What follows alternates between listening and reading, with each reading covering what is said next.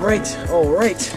We are going incognito with the GoPro. So we're at Walmart. Let's go get our things.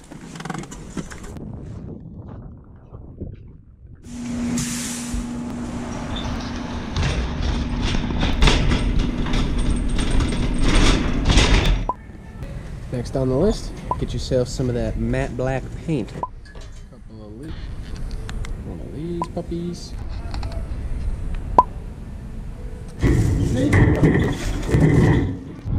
It's freaking cold. All right, guys, got back from Walmart a couple hours ago, but before I can even get into rebuilding this crate, I am so excited to do it. The first thing that's gotta happen is I have to demo this one, basically completely take it all apart, and we're gonna start from scratch with a fresh milk crate and I'm gonna take you guys through the whole assembly process, bringing this back to basically my 2019 crate and uh, some of the modifications and upgrades I'm gonna do to it. Right here is one of the first steps as well. You guys can see I've kind of been MacGyver in this, got some sticks literally right there.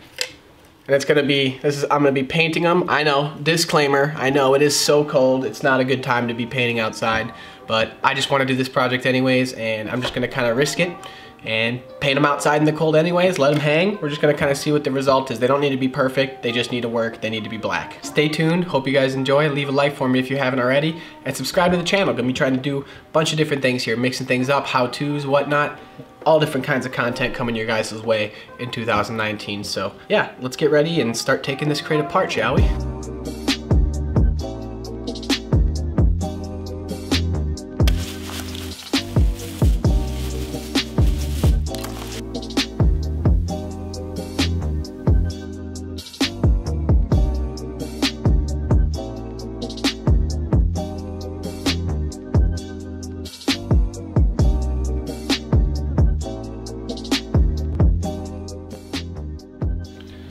All right, so now we are gonna do the pretty much most exciting part where it's gonna really, really start coming together and looking like a kayak crate. We're gonna put all eight of these rod tubes onto this crate and uh, yeah, that'll really start bringing it together and making it look cool. Won't be done yet at that point, but uh, this is a big step. Let's get to it.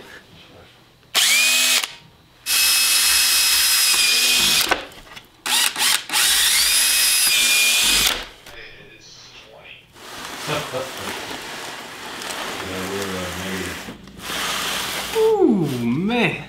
That looks a lot better, folks. I think this is a night and day, such a better crate than I had before, and I'm so glad I did it. I'm gonna show you guys all the modifications I made to it now and just take you through the whole crate, start to finish, and all the little pieces and things that it's got going on because I'm pretty proud of it and I think you know maybe you guys will see a couple things that you might end up doing on your kayak crate who knows I don't know Coda there's a husky in here and she is just crying you hear you hear the jingle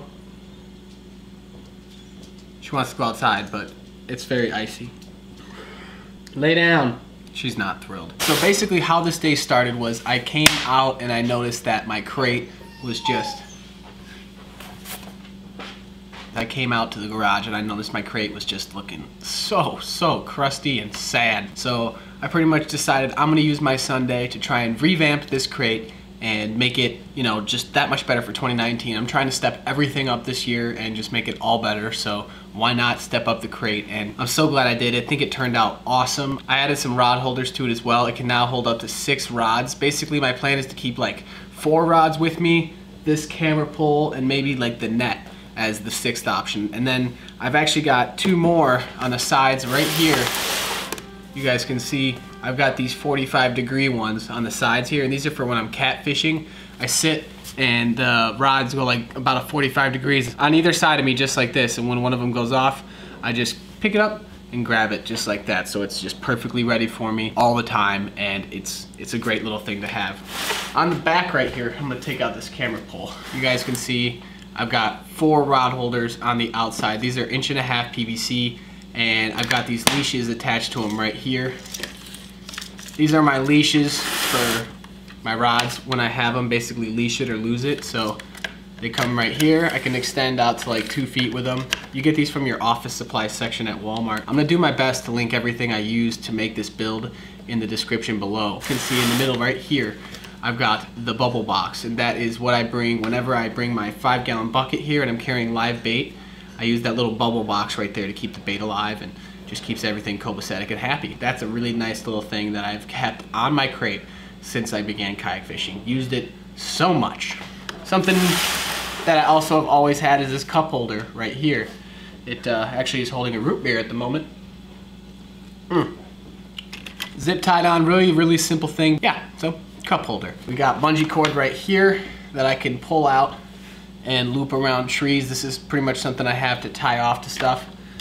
And I've got the same thing on the other side as well. A Little different strap, but it's the same concept right here. So you can see I've actually already pre-looped it to give you an idea. Basically, this is what I'll use to like if I'm kayaking in like a tree field or something, I'll just clip off just like that. And it, it works great. So I put one on each side of the crate now so that I can I can do it on either side of the crate. This is one thing new that I added. I think this is real, real cool. So this right here is basically just my little, I don't know, I guess you can call it like a catch-all little bucket. But I tied on the lid right here with a little hole I drilled through. And I don't know, I don't really know what's gonna be for yet, but it's cool. I got this little, nice little storage bucket. Right here is my screw with all my nuts and washers for attaching the crate to the actual kayak. Keep that in there. String, make sure I'm never gonna lose that lid pretty much is all that does. Yeah, come to the front right here. I've got my needle nose pliers leashed on as well. Fish grips are right here leashed on. I kept the leash really long, like two and a half feet, so that I can just have really easy access whenever I'm dealing with like a, I don't know, a crazy fish or some, some kind of situation I'll want to let it go in the water. Only other thing to show you guys is pretty much just all the tackle it can hold. So right here I've got five of my, uh, I think, I can't remember the size numbers. They're 3500s or something like that. But you can see I got my jig box right here. Crankbaits. Big swim baits. Top waters. And of course, my frogs. So you guys get the idea. Here, I'll show you what it looks like on the inside. On the inside, it's actually real, real empty. You can see I've got quite a bit of space and the whole setup really is not that heavy of a thing. I am so happy I took the time today to do it. I hope you guys enjoyed that video from the start this morning where I went into Walmart until now the final product where it's all done and I get to stare at it until spring when the freaking winter ends and get to go kayaking again. Winter projects, it just keeps everything, keeps me happy, keeps me close to fishing and uh, gets me excited for the springtime. I hope you guys enjoyed that video. If you did enjoy the video, please do me a favor hit that like button for me as well and subscribe to the channel if you haven't already. Don't hit this button, it's not gonna do you very much good, but if you go to the real one just below the video here, hit that for me too.